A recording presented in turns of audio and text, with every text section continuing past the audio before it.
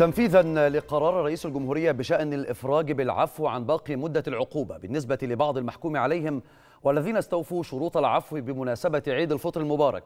فقد أفرج قطاع الحماية المجتمعية عن 986 من نزلاء مراكز الإصلاح والتأهيل. وشمل الإفراج من تنطبق عليهم شروط العفو في إطار تطبيق وزارة الداخلية السياسات العقابية الحديثة.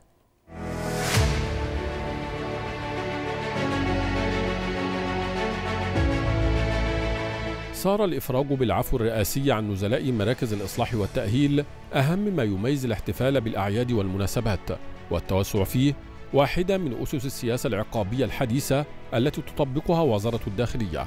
من هذا المنطلق أفرج قطاع الحماية المجتمعية عن 986 نزيلا تنفيذا للقرار الجمهوري رقم 155 لعام 2022 بشأن العفو عن باقي مدة العقوبة لبعض المحكوم عليهم من من استوفوا شروط العفو بمناسبة الاحتفال بعيد الفطر المبارك.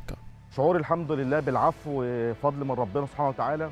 ثم من سيد الرئيس عبد الفتاح السيسي كان شعور جميل جدا لا يوصف وطبعا يعني فرصة جميلة جدا إن أنا أخرج تاني للمجتمع وأبدأ حياة جديدة.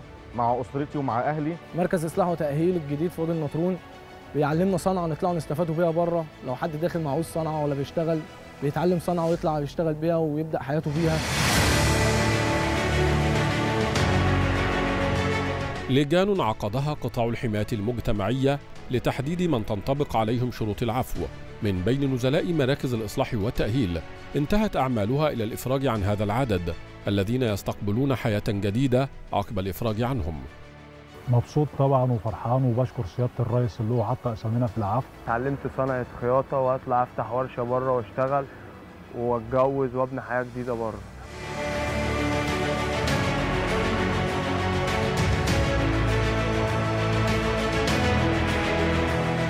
تم تأهيل هؤلاء النزلاء وفقا لأحدث نظم الإصلاح والتأهيل مع مراعاة الأبعاد الإنسانية والاجتماعية عند تطبيق العقوبة.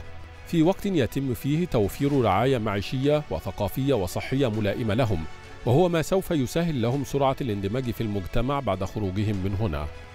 بصراحة مراكز الإصلاح والتأهيل تحس إن هي نقلة تانية. السجين غلط بيتعاقب بس في نفس الوقت له حقوق. انت ليك تعبان بتاخد حقوقك الطبية. انت راجل مثقف تنزل مكتبة بتقرأ عايز تزود من علمك بتقرأ. انت راجل مش حاصل على شهادة عايز تاخد على ش... عايز تحصل على شهادة تحصل على شهادة من داخل مركز التأهيل. انت راجل محو أمية بتاخد محو أمية. لقيت هنا منتهى الاحترام منتهى الرقي منتهى السمو في التعامل. آه لقيت آه فعلا جمهورية جديدة دولة جديدة. بشكر الرئيس عبد الفتاح السيسي وما كنتش متوقعه إن إحنا هنطلع في العفو ده. إحنا اتفاجئنا ان إحنا خارجين فيه. تعليمها المخبوزات جوه. هطلع ان شاء الله وهشتغل نفس اللي أنا اتعلمته جوه الشغل اللي أنا اتعلمته.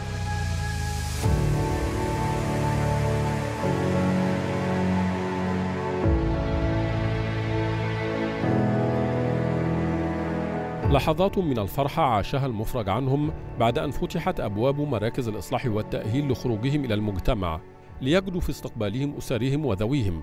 الذين أشادوا بقرارات العفو الرئاسي التي تعد فرصة جديدة للمفرج عنهم لبداية حياة جديدة.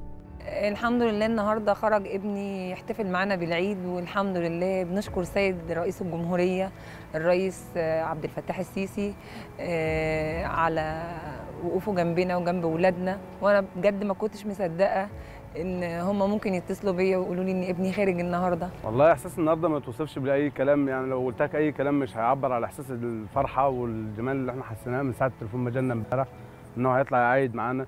بصراحة إحساس ما ينفع يعني الكلام قليل على وصفه مهما قلت الكلام مش هيوفي شكري وتقديري وعرفان السيد الرئيس جمهورية مصر العربية السيد الرئيس عبد الفتاح السيسي بعطفه وحنانه. يأتي الإفراج عن هؤلاء النزلاء في إطار تفعيل وزارة الداخلية لأساليب الإفراج عن المحكوم عليهم الذين تم تأهيلهم للانخراط في المجتمع. التوسع بالإفراج بالعفو الرئاسي على نزلاء مراكز الإصلاح والتأهيل هي أحد الأبعاد الإنسانية في منظومة السياسة العقابية الحديثة والتي تهدف في المقام الأول إلى إتاحة الفرصة للمفرج عنهم لبداية حياة جديدة مسلحين بما تعلموه داخل مراكز الإصلاح والتأهيل. من مركز الإصلاح والتأهيل وادي النطرون عبد الله بركات التلفزيون المصري.